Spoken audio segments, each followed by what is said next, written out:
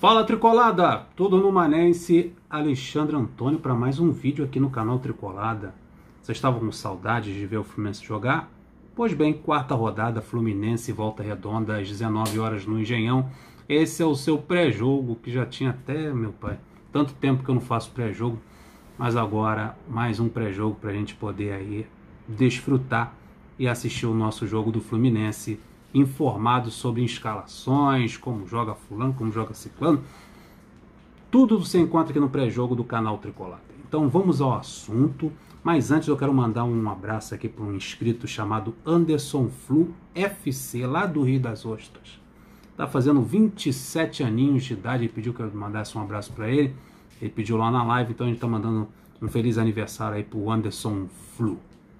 Parabéns, irmão.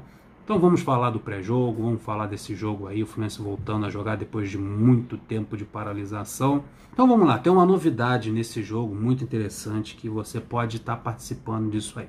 O Fluminense vai entrar com uma camisa preta da Umbro, muito bonita por sinal.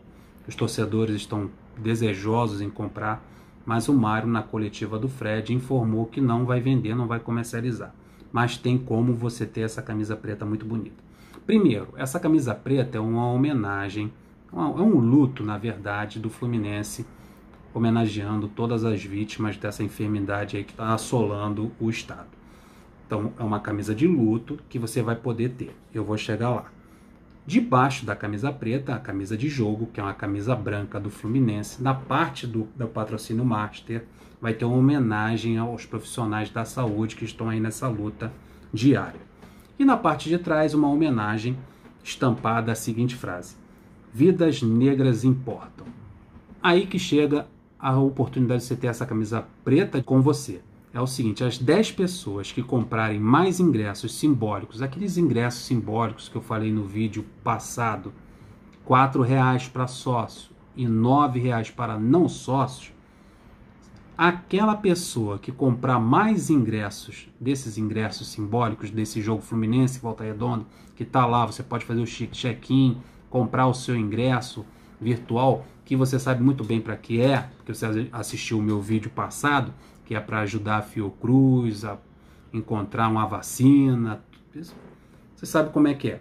Então, lá para a Fiocruz, todo o dinheiro será revertido para a Fiocruz para ajudar aí na produção uma vacina e nos estudos para essa, essa enfermidade. Então, além de colaborar, além de fazer essa parte solidária, você pode ter essa camisa, desde que você seja um dos 10 a comprarem mais ingressos aí dessa promoção. Você garante a camisa preta, você vai receber essa camisa preta, enquanto, ó, tem mais, enquanto o maior comprador fica também com a camisa branca. Então aquele que comprar mais, né, vai ter muito, vai ter essa vantagem de ter a camisa preta e também ter a camisa branca com esse com esse, esse estampado na frente e nas costas a palavra vidas negras importam. Olha que legal. Você pode tanto ter a camisa preta como ter a camisa branca, uma camisa especial, uma camisa que, como o Mário falou na coletiva, pode ser histórica, é muito legal você ter essas duas camisas. Então, vai lá, compra o ingresso, compra bastante para tentar ser a, a, ficar entre as 10 pessoas que mais compraram e a que mais contribuiu para conseguir essa camisa branca e a preta. Antes da gente entrar no jogo em si, eu quero, fa quero falar do Nenê. O Nenê, ele já está treinando com a equipe, já está participando, já está liberado pelo departamento médico. Até perdeu para o Rachão, para o Fred. O Fred tirou uma onda com ele lá na apresentação de que ganhou do time dele no rachão. Então, graças a Deus, tudo bem com o Nenê.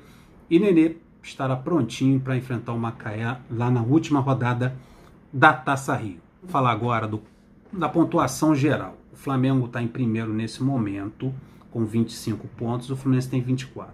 O Flamengo tem 8 vitórias, o Fluminense também tem 8 vitórias.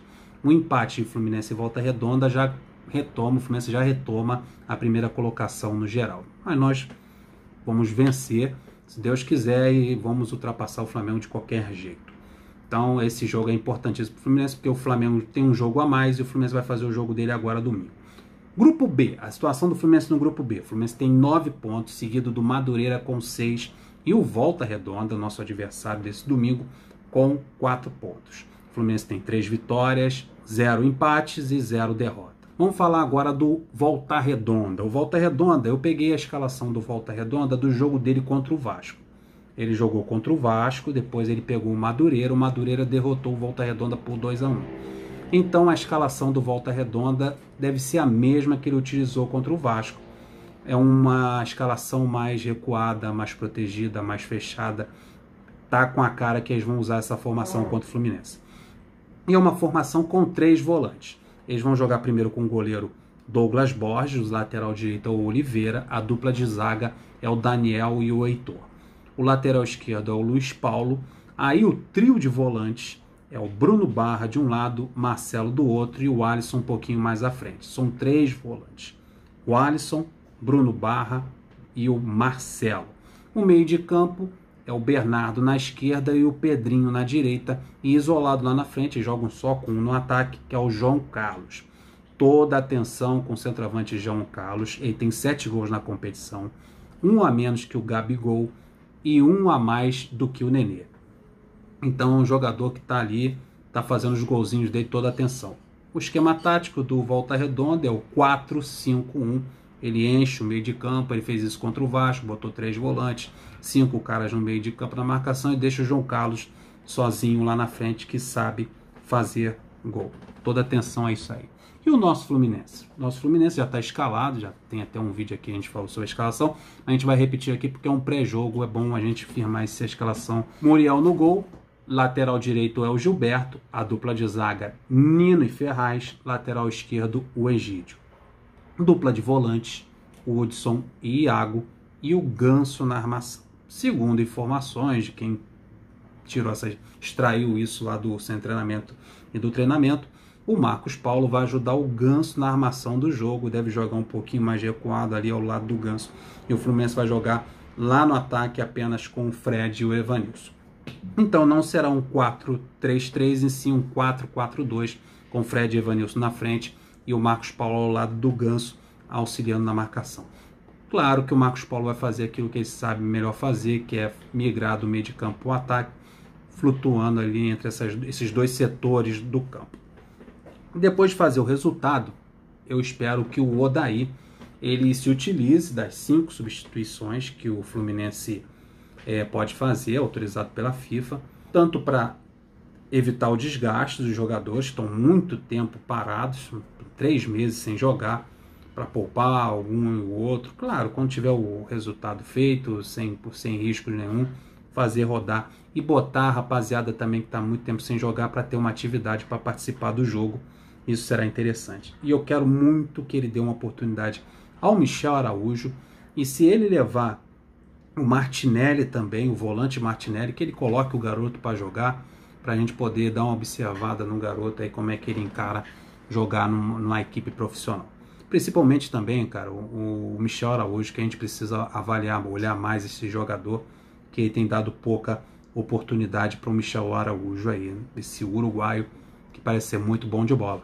Oh, uma coisa muito interessante para esse jogo, para quem gosta de números, recordes, principalmente relacionados ao Fred, o Fred pode bater um recorde nesse jogo aí no Engenhão. O Louco Abreu tem 41 gols lá no Engenhão, ex-jogador do Botafogo, e o Fred pode muito bem ultrapassar essa marca do Louco Abreu e ser o maior artilheiro da história do Engenhão. Engenhão, que foi palco de uma final do Brasileirão que o Fluminense conquistou em 2010. Em 2012, na campanha de 2012, o Fluminense fez toda a sua campanha jogando no Engenhão. Então o Fred fez bastante gols e se fizer aí uns dois gols a mais aí, fazer dois gols, já iguala ao Louco Abreu. Se fizer três contra o Volta Redonda, melhor ainda que ele fica é, disparado o maior artilheiro da história do estádio, que um dia foi chamado de João Avelange, um tricolor aí histórico do, da história do Fluminense e ex-presidente da FIFA. Então vamos lá, mais um motivo para a gente torcer por Fred nesse jogo de domingo aí para ele conseguir bater esse recorde aí no Engenhão, que é muito legal. Que o Engenhão é conhecido como o nosso salão de festa, onde que nós fazemos a nossa festa. Como eu falei, ganhamos um título jogando lá gol do Sheik. E o outro jogo, o jogo da faixa lá do 2012, a gente fez, a gente recebeu a faixa lá no, no Engenhão. Então nós estamos muito ligados a esse estádio. Vamos torcer com tranquilidade no sofá, vai passar na Sport TV e vai passar no Premiere. Então vamos assistir em casa, com a família, nada de chamar vizinho, parente para assistir jogo. Vamos evitar aglomeração.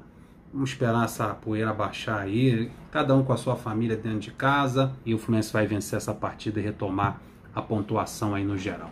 Então é isso aí, muito obrigado pela audiência, muito obrigado por assistirem, pelo like deixado, pela inscrição no canal. Ó, dá uma moral lá no Seja Membro para ajudar o canal.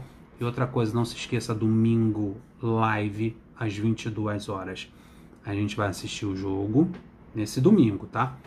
A gente vai assistir o jogo, o jogo é 7 horas da noite, 19 horas. E às 10 horas a gente vai comentar tudo sobre esse jogo. Vamos falar tudo, como o Fluminense jogou, o que achou. A gente vai bater aquele papo do pós-jogo de Fluminense e Volta Redonda lá no Engenhão. Espero vocês. Fique com Deus até o próximo